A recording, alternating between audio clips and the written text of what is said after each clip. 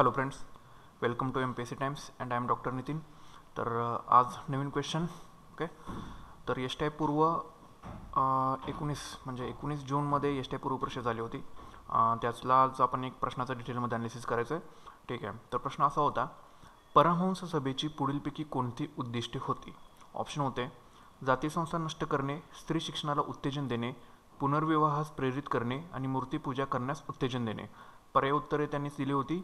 A B आणि C फक्त A B आणि सी फक्त बी फक्त सी फक्त किंवा डी फक्त. ओके तर त्यांनी हे असे आपल्याला ऑप्शन्स दिले होते.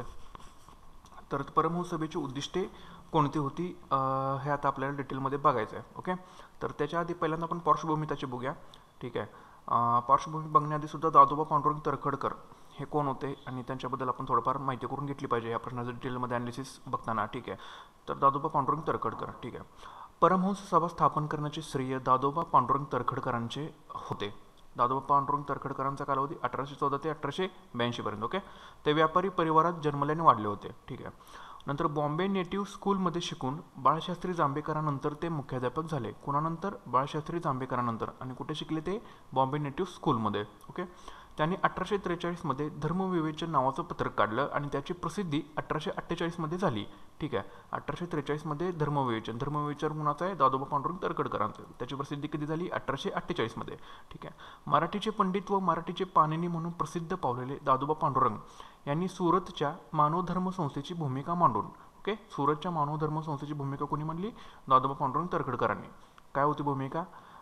असे म्हणले त्याच्यामध्ये की ईश्वर निराकार आहे नीतीपूर्वक ईश्वरभक्ती करणे हा खरा धर्म होय. विवेक बाळगून नित्यकर्मे करावीत आणि सर्वांसाठी ज्ञान व शिक्षण आणि प्रत्येक माणसाला विचार स्वातंत्र्य आहे.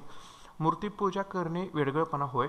आणि या सभेचा प्रार्थना दिवस हा रविवार होता. कोणत्या मानवधर्म सभेचा प्रार्थना दिवस कोणता होता? रविवार होता. आणि ही सभा अल्पजीवी होती. त्यामुळेच काय झालं? अठराशे एकोणपन्नासमध्ये दादोबा पांडुरंग तरखडकरांनी परमहंस सभा स्थापन केली आणि या सभेची उद्दिष्टे त्यांनी पुढीलप्रमाणे सांगितली होती. ठीक आहे. पहिलं उद्दिष्ट असं होतं जाती संस्था नष्ट करणे ओके?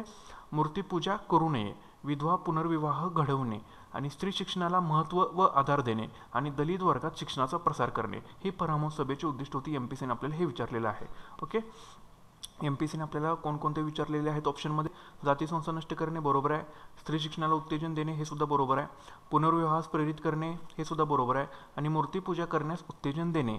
तर हे मूर्तीपूजा करण्यास परमहंसभा सभा उत्तेजन देत नव्हती तर मूर्तीपूजा करू नये असे परमहंसभा सांगत होते आपल्याला. त्याच्यामुळे ऑप्शन कोणते आहेत? ए बी आणि सी हे बरोबर आहेत. ओके तर हे झालं उद्दिष्टाबद्दलचं आता दादोबा पांडुरंग तरखडकरांची एक सप्ततत्व प्रणाली होती त्याच्याबद्दल बघू आता. त्यांची सप्ततत्व प्रणाली काय होती दादोबा पांडुरंग तरखडकरांची? तर ईश्वर एक असून त्याची भक्ती करावी ओके?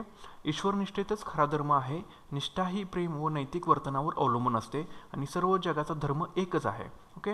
हे तीन झाले. प्रत्येक व्यक्तीला विचार स्वातंत्र्य आहे. चार आपले दैनंदिन कार्य तर्क सुसंगत व निरक्षीर विवेकावर आधारित असावे. पाच संपूर्ण मानवजात एक आहे. सहा आणि सर्वांनी योग्य प्रकारचे ज्ञान द्यावे. ही दादोबा पांडुरंग तरखडकरांची सप्ततत्व प्रणाली होती. ह्याच्यातले चार चार ऑप्शन टाकतील आणि कोणतं तरी वेगळा टाकतील आणि कुठलं नाही हे विचारतील. ठीक आहे? तर अशा ह्याच्या सप्ततत्व प्रणालीवरती काही विचारवंतांनी आपली मतं व्यक्त केलेली आहेत. तर प्राध्यापक जे व्ही नाईकांनी परमसभेच्या धर्म स्वरूपाचे विश्लेषण करताना लिहिले की दादोजींनी सर्वधर्म ग्रंथामध्ये शहाणपण व आध्यात्मिक विचार असतात. त्यांनी एक ते तीन तत्वात खरा धर्म व चार ते सात तत्वात मानवी बुद्धी प्रामाण्यवादाला उचलून धरले आहे व त्यातून सामाजिक गुलामगिरीचाही ते निषेध करतात. हंस निरक्षीर विवेक करतो तसा हा धर्मविचार मानेल.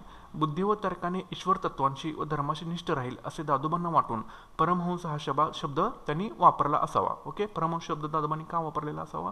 कारण बुद्धी व तर्काने ईश्वर तत्वाशी धर्माशी निष्ठ तत्व राहता येईल आपल्याला म्हणून त्यांनी परमहंस हा शब्द वापरलेला असावा.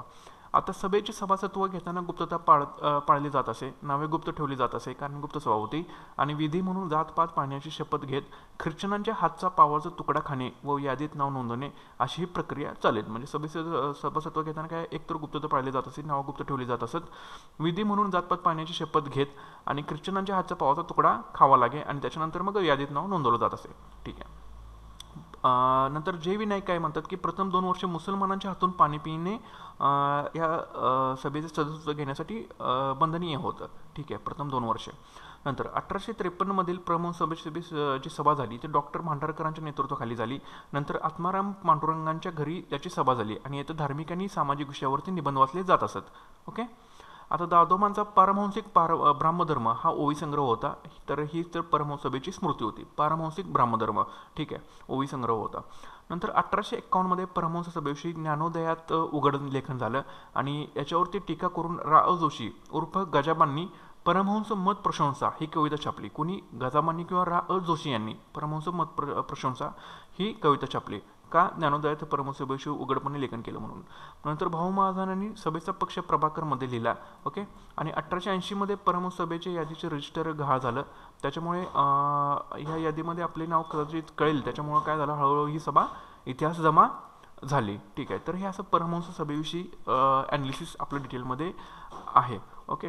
तर याच्यामध्ये दादोबा पांडुरंग तरखडकर कोण होते? त्यांचं थोडीफार पार्श्वभूमी नंतर परमसभा कधी स्थापन झाली? सभेची उद्दिष्टे कोण कोणती होती? दादोबांची सप्ततत्व प्रणाली कोणती होती?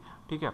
नंतर स परमसभेचं सभेचं सभासत्व घेण्यासाठी कुठल्या कुठल्या प्रक्रियेतून जावं लागत होतं? ठीक आहे. अशा पद्धतीने आणि परमसभेची सभेची जी सभा होती ती कोणाच्या घरी झाली? ठीक आहे. नंतर परमहंसिक ब्रह्मधर्म हा कोणी कोणाचा ओवी संग्रह होता? नंतर कोणत्या पेपरमध्ये याचं लिखाण झालं ज्ञानोदयामध्ये लिखाण झालं त्याच्यावरती पुन्हा टीका झाली आणि अठराशे ऐंशीमध्ये यादीचे रजिस्टर हे गहाळ झालं. ठीक आहे. तर अशा पद्धतीने हे परमहंस सभेबद्दल आपण आता पाहिलेले आहे. ओके? तर याचं करेक्ट आन्सर आहे जाती संसद नष्ट करणे श्रेष्ठ उत्तेजन देणे आणि पूर्वविवास प्रेरित करणे. म्हणजे यातलं ऑप्शन एक हे बरोबर आहे. ओके? तर हे अशा पद्धतीने आपण याच याचं डिटेलमध्ये अनालिसिस बघितलेलं आहे. इथून पुढे आपण डेली आपण क्वेश्चन आन्सरचं ॲनालिसिस आपण पाहणारच आहोत. ठीक आहे? अजूनसुद्धा तुम्ही हे चॅनल सबस्क्राईब केलं नसेल तर चॅनल नक्कीच सबस्क्राईब करा. आपल्या मित्रांशी शेअर करा. व्हिडिओ आवडला असेल तर नक्कीच लाईक करा. काही प्रश्न असतील तर कॉमेंट बॉक्समध्ये नक्कीच विचारा. ओके ठीक आहे. Thanks for the watching and all the best for the exam